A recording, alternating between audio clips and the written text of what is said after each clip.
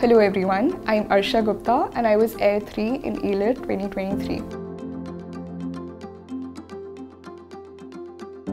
So I come from a doctor family and up till grade 9 I was very sure that I wanted to become a doctor only.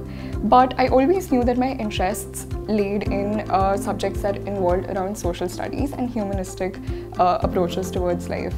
And that is when I realized that I really need to consider my career options very seriously. And so when lockdown happened, I got around to talking to a lot of different people who were working in different professions. And that is when I realized that law could be a field that suited my aptitude really well and something that I could also excel in.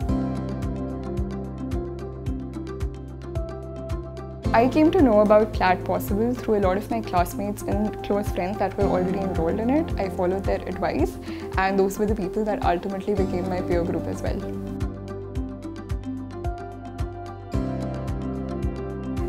What was the most defining part of my preparation? It was definitely the quality of mocks that CP provided as well as the Legion batch that took place in Hazratganj, Lucknow.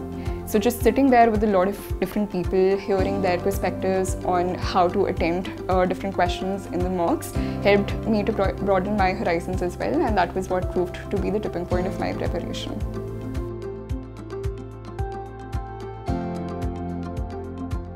So one preparation tip that I would definitely like to give to all CLAT and AILET aspirants is consistency.